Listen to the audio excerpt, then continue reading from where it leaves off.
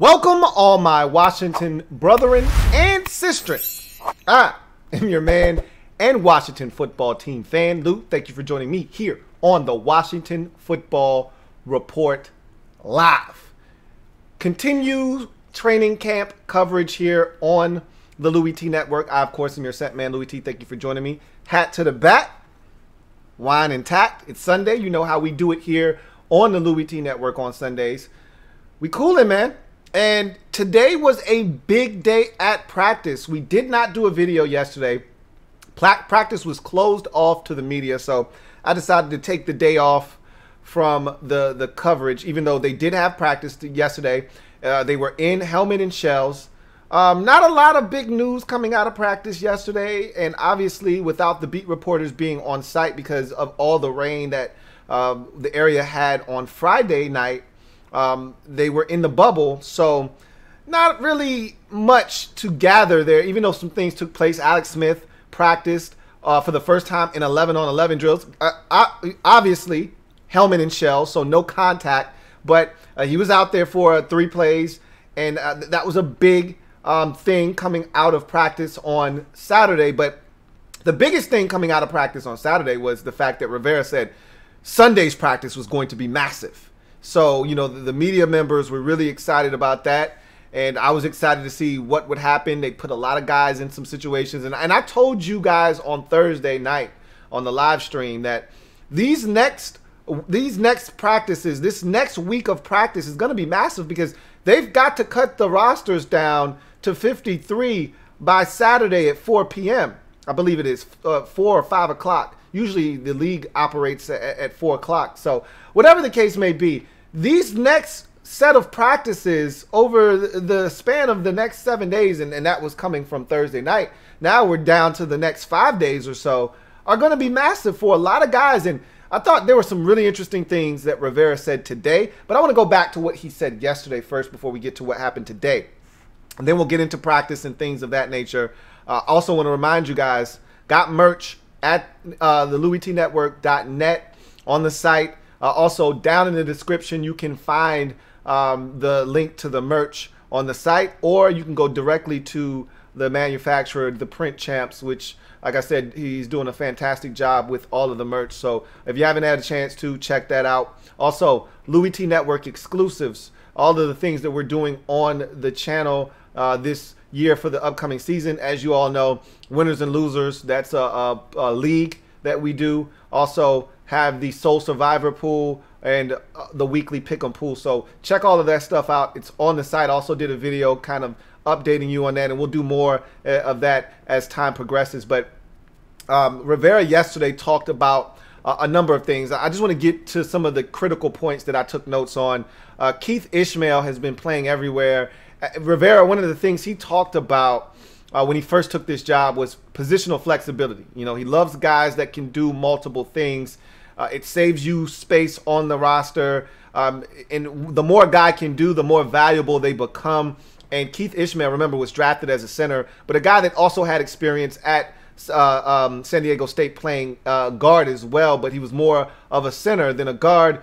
Um, he's been taking reps at all three interior offensive lineman positions, so that's strengthening his grip on a roster spot. Uh, the more you can do, the more valuable you become. So Keith Ismael making a, a case to make this football team, and, and Rivera talked about his positional flexibility. He talked about having no fullback, and someone brought up the the question about this team not having a fullback, and that's something that Rivera had, and I talked about this about a month and a half ago or so uh, on the um, live stream about Rivera having a fullback, and it was interesting that they did not have anyone in that role per se. And he said, look, we did have a guy, uh, but he opted to not, uh, you know, play on the team this year. And, and so um, he's like, we decided at the time once, you know, we saw what the position looked like in terms of the free agent market. We weren't really all that impressed with what was available. So we just decided we're just going to roll with the tight ends and, you know, just have those guys be a little bit of uh, versatile and be able to play multiple positions. And uh, we think we'll be fine there. So he talked about the uh, state of the fullback position and the lack thereof on this particular roster. He also talked about Wes Schweitzer and he said, and this is going to lead me into another point that I thought was a, a point of emphasis by Rivera yesterday. He talked about Wes Schweitzer, who I told you guys came back to practice for the first time on Friday. And he talked about Wes Schweitzer um, missing a ton of time, which he has due to injury. But he said, look, Wes is a veteran. We know what this guy is capable of, which is why we went out and signed him in free agency. So he does have a leg up on some of the other guys that are young that may have been practicing every single day, but we aren't really sure what we're going to get out of those guys. We know what Wes Schweitzer brings to the table as a veteran and a guy who has done this in the league. So uh, we trust Wes, and I, what he's essentially telling us, without saying it, is Wes Schweitzer is going to be on this roster. Now, I've looked at 53 man rosters that have been projected by people who don't have Wes Schweitzer on the roster because he's missed so much time in camp. And what Rivera is essentially telling you is, hey, Wes is good not having participated in over a week and a half of camp. He's straight. We know what we're getting out of him. We signed him and brought him here for a reason. And as long as his injury isn't lingering and he's back at camp now, he's going to make this football team, is essentially what Ron told us without actually saying it. And so I want to take it a step further. And I want to talk about vets over the youngins. Because him talking about Wes Schweitzer, and then he answered another question later on in his presser from yesterday, where he kind of talked about the young guys versus the vets and how when you're making those last bit of decisions towards the roster, in a situation like this year where there were no OTAs, there were no minis, it's harder to go with the young guy over the veteran. Now, he's going to have a bunch of young guys over veterans at positions where the young guys are just better. All right, and he stated that, look, you know, it's never a situation where you're going to just go with a veteran just because he's a veteran if the guy is better, you're going to go with that guy. However, when you get to the back end of the roster and you start, you know, splitting hairs and you start looking at certain situations, you're more inclined, Rivera said, to go with the guy that has experience, that's done it before. Now, look, got to be able to help on special teams. He made sure he was very clear about that. Got to be able to contribute on special teams. But if all things are equal and you've got a guy that really hasn't done it in the league versus a guy that has, you're more inclined to go with the guy that has. So he's telling you, and, and, this is no secret to you guys. I told you that a Panthers fan told me Ron has always leaned towards the veteran players in this league over the young guys. That's always been his move. If you've played for him or he feels like you're a veteran and you get it, he's usually going to give you the benefit of the doubt over a young guy that hasn't cut his teeth in the league yet. So what I'm telling you is I'm still now where it's really going to come down to is Isaiah Wright, Cam Sims, and Trey Quinn. I, I, I said this a while back. Uh, even when Kelvin Harmon was healthy, I felt like it was three receivers for two spots. Now, you know, the, the, the receivers might have changed since then, you know, but at the end of the day, I think it's two receivers for three spot or uh, three receivers for two spots. And I, I really feel like Isaiah Wright, unless they absolutely love this guy on specials, absolutely love him, I think he's the odd man out.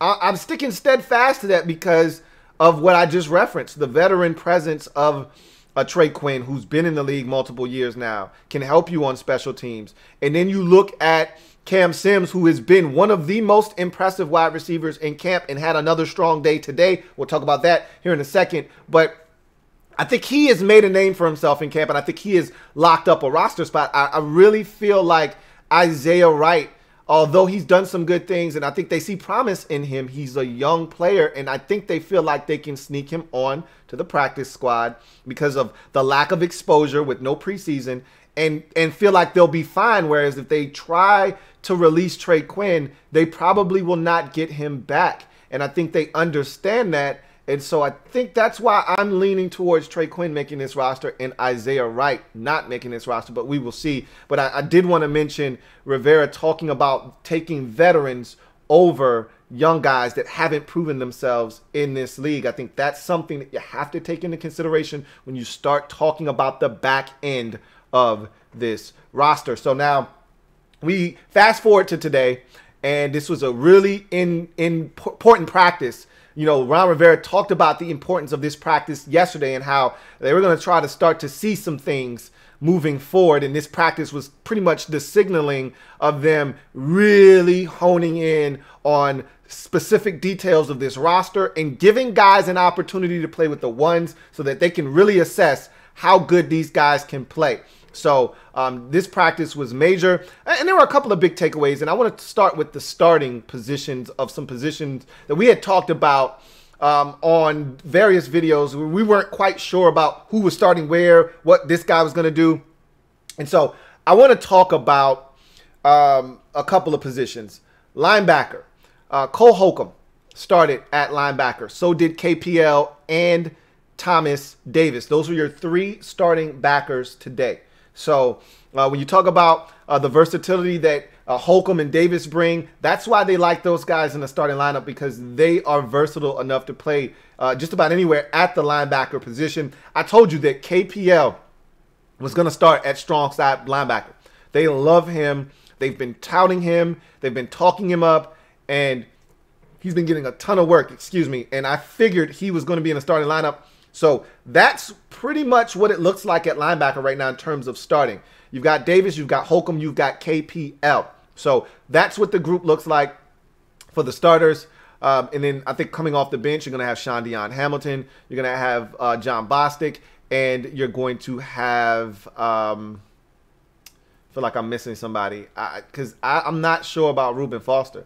You know, they may ultimately go in a different direction. They may actually go with the young and Khaleke Hudson out of Michigan as that other linebacker. It, it's really hard to say because um, I, I, told you that there hasn't been a lot of improvement from Reuben Foster to this point. They may start him on the pup list.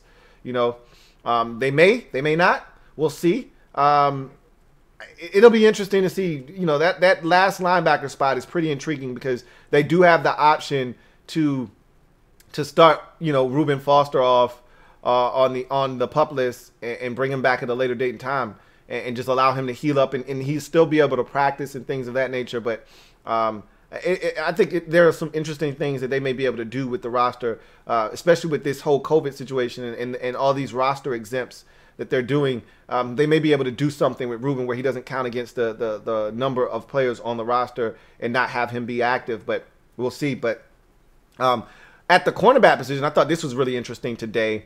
Um, you got Jimmy Moreland starting opposite of Ronald Darby at corner now. Don't read too much into that. Kendall Fuller was not practicing today. Uh, they continue to just want to ease him into things. Remember, he got nicked up the other day. Um, another guy that did not practice today is Antonio uh, Gandy Golden, of course.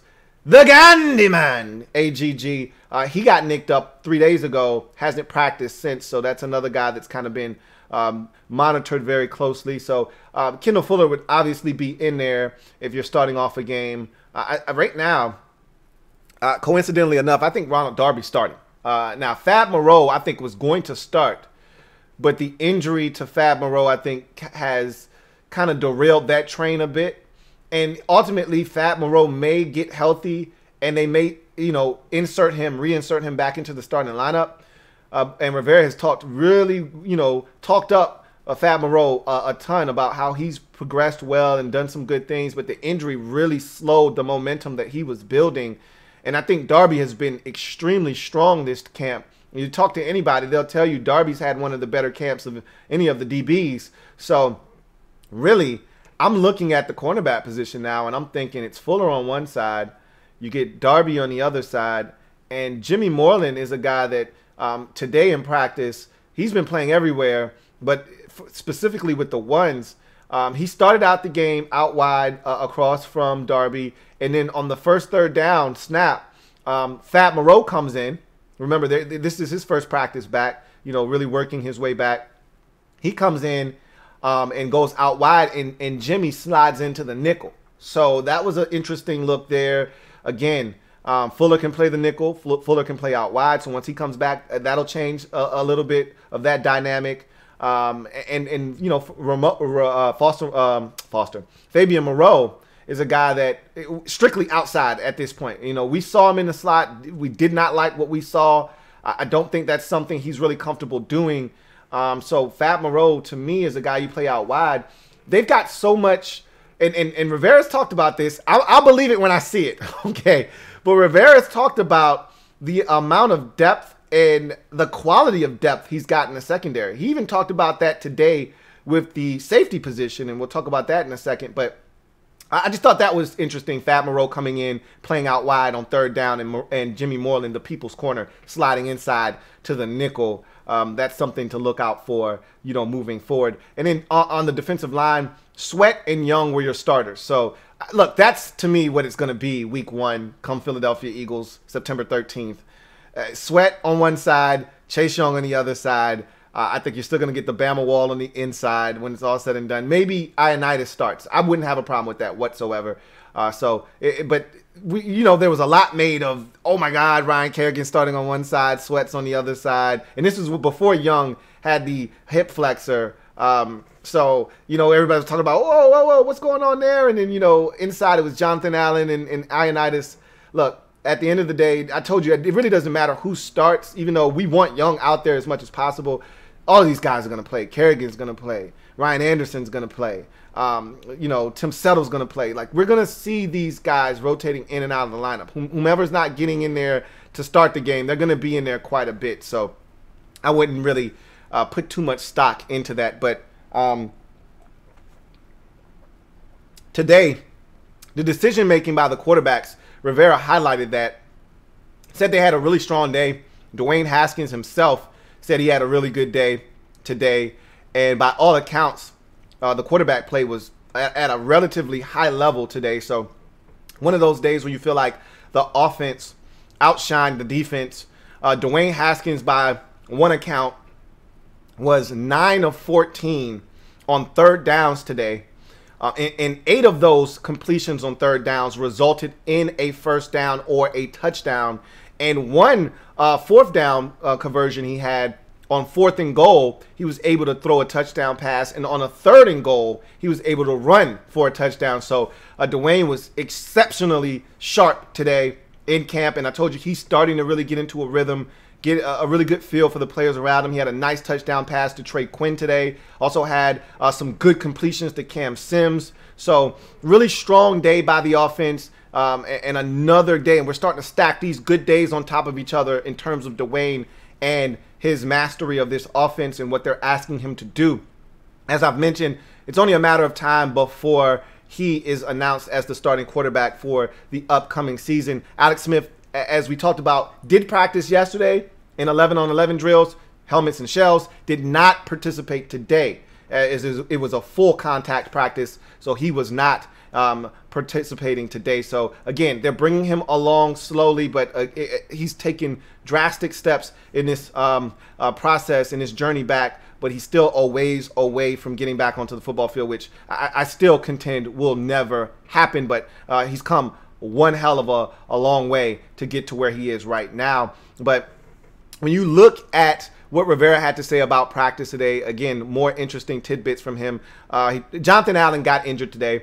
Doesn't seem serious. Sounds like his ankle was rolled up on, maybe a knee injury, but it's not serious. He actually wanted to get back into practice. Uh, was begging his way in. The, the, trainers took his helmet, so he couldn't go back into practice. So sounds like Jonathan Allen's going to be just fine. But it wouldn't shock me if he missed a couple of days of practice. And we all know what he's capable of. So no need in rushing him back. It's practice. So I assume that we will not see Jonathan Allen for the next couple of days uh, at practice, uh, and, and, they will allow. And, and, Rivera talked about allowing injuries to heal, which is why we haven't seen Kendall Fuller, which is why they kept Chase Young out of practice as many days as they did, why they kept Wes Schweitzer out of practice as many days as they did, and, and why Saahdiq Charles still hasn't been on the practice field to this point. They want to make sure that these guys are fully healthy. They do not want these injuries lingering and, and, and manifesting themselves um, down the road. So uh, I, I, expect to not see Jonathan Allen practicing probably the next few days. Same thing with Fab Moreau and how they brought him back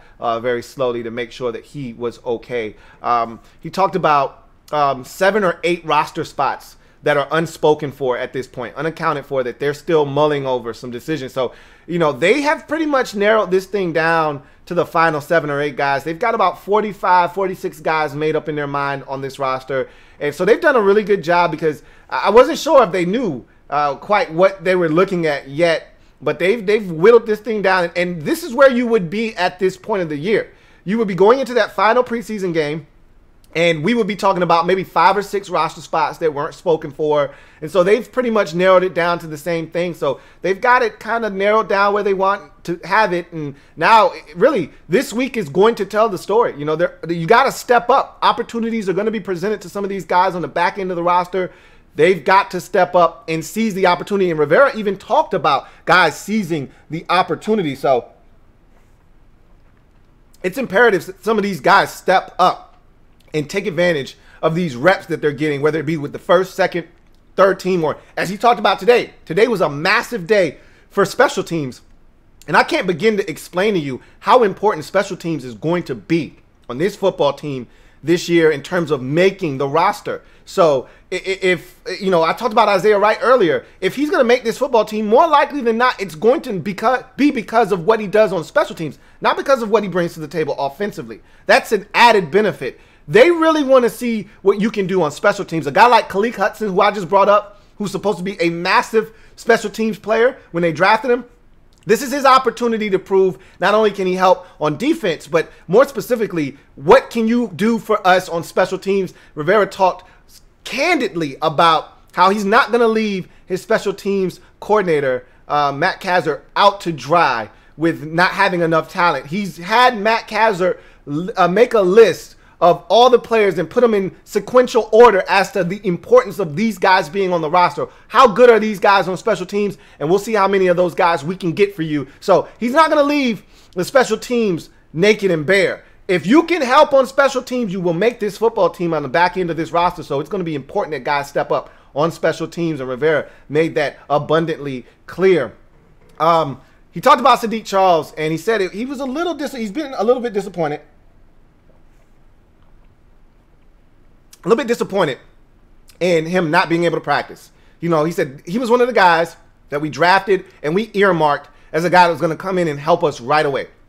And, you know, because of these injuries and him not being able to participate in practice essentially the entire training camp, um, it's tough to really be able to put him in any kind of a position to help this football team right away. But that being said, it's not like he's getting cut or anything like that. He's going to make the football team.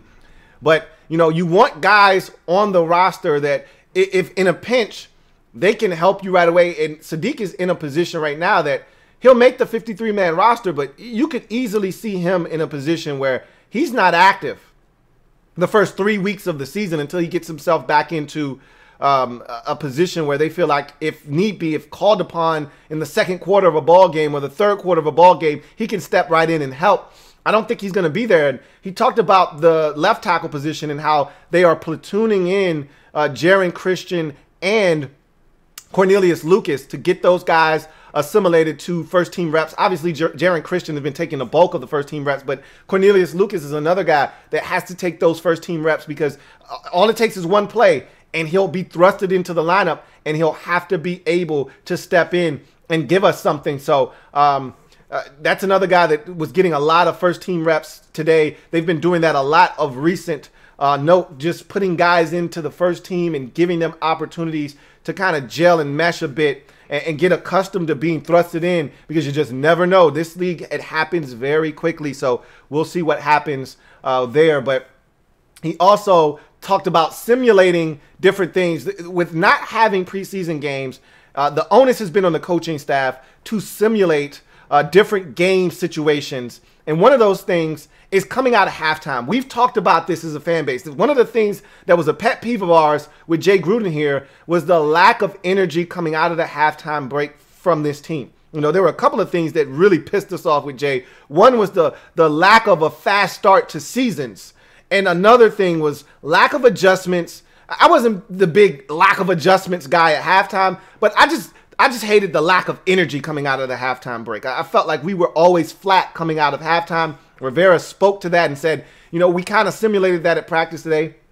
Gave him a little bit of a break, came back from the break, and he said he thought the team was flat coming out of that break. So that was something he emphasized at the end of practice. He got the whole team together and told them that the the energy after that break, simulating halftime, wasn't good enough. We've got to be better. So uh, again, Ron trying to instill all of these different characteristics into this team it's a process but it's good to hear that he's doing some of the things that we as fans wanted to see done for quite some time. And that was one of the things that we definitely wanted to see. So them simulating that at practice today, I thought was big. And the fact that they did not respond the way that he wanted them to, and then he chastised them at the end of practice for that, thought that was a good thing. But he said overall, it was a really good day of practice. They saw a lot of good things. Some young guys stepped up. He said he wants to watch the film to see who were the real standouts of practice, but they got a lot of things accomplished in today's practice. So sounded like it was a massive practice, a lot done, but there are going to be more of these. Tomorrow,